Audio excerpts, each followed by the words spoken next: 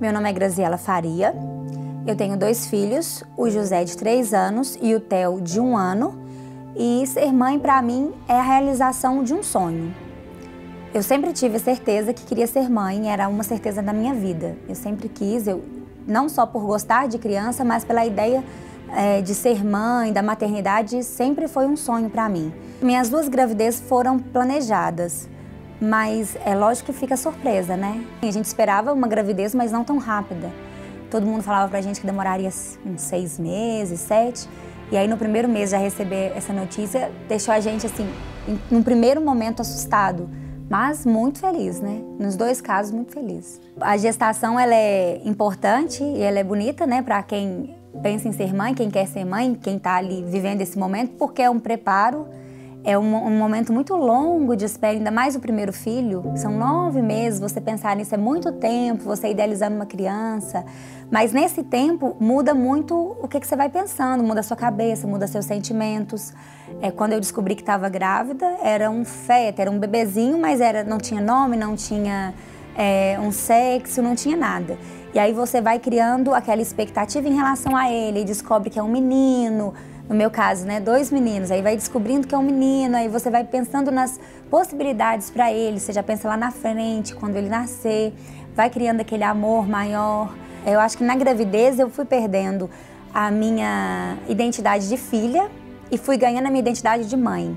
Eu fui deixando de ser a filha né, da minha mãe, do meu pai, e fui passando a ser a mãe de um ser que estava crescendo e que precisava de mim. A, a, gravidez toda é emocionante, não sei se é até por causa dos hormônios, mas a gente fica mais sensível a qualquer coisa. Alguns pontos realmente, assim, deixa a mãe com o coração batendo mais forte. A primeira vez que eu vi o coração dele no médico, a primeira ultrassom que eu fiz, que eu vi aquele coração batendo, Falei, meu Deus, é, tem um neném mesmo aqui, né? Tem uma criança crescendo mesmo. Eu acho que eu vou gostar mais do José do que do Theo, porque já tem dois anos e meio que eu tô convivendo com ele, a gente tem uma afinidade muito boa, é, nós sempre fomos muito ligados. Então eu pensava, eu vou gostar mais dele, não vai ter jeito de eu fugir disso. E quando eu peguei o Theo pela primeira vez no colo, que eu, eu coloquei, olhei ele assim, o rostinho dele, eu falei, não, não tem jeito, eu amo os dois igual, não tem não tem como falar que amo um ou outro mais, porque é uma coisa que não tem jeito de explicar. Os momentos mais felizes da minha vida, lógico que tem vários outros, mas os mais felizes é, foram naqueles dois dias, o dia que o José nasceu e no dia que, que o Theo nasceu. Marcou muito para mim é, esse encontro do José e do Theo, porque sempre existia aquela expectativa. É, a gente preparou muito bem o José, explicando para ele que vinha ali um irmãozinho, que era o Theo, ele estava na minha barriga, daí um tempo ele sairia da minha barriga. A gente preparou ele. Só que a gente não sabia como seria a reação. Ele tinha dois anos e meio quando o Theo nasceu. E aí, o Theo nasceu no, na, no, de domingo para segunda, e no domingo, na segunda, o meu marido levou o José para conhecer ele. Aí foi maravilhoso, assim, porque eu não esperava a reação do José. Mas a hora que eu vi os dois juntos e o amor que o José tinha, já tinha por ele antes de conhecê-lo, né? Porque naquele momento foi o primeiro contato.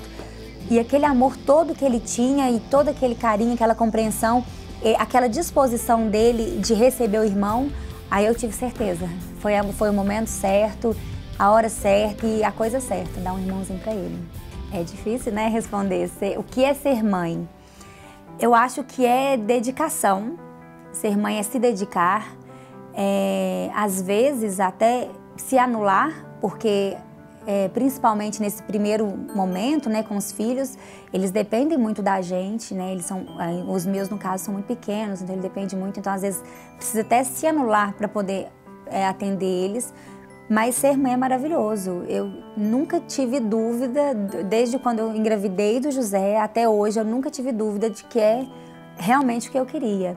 É você ver que você está fazendo a sua parte para o mundo, né? Eu, eu penso como eu preparando eles para ser pessoas boas que façam a diferença. Então, eu acho que os filhos, eles são legados nossos. Acho que é, é, é a maior obra que uma pessoa pode deixar. Não consigo me ver sem eles. Não, não tem essa possibilidade, não posso pensar nisso. E para eles, o que eu falaria agora é o que eu falo toda hora, toda hora, até canso eles, que eu amo muito, muito eles. Eles são minha vida. Eles, eles é o que completa minha vida, é o que me faz ser feliz hoje.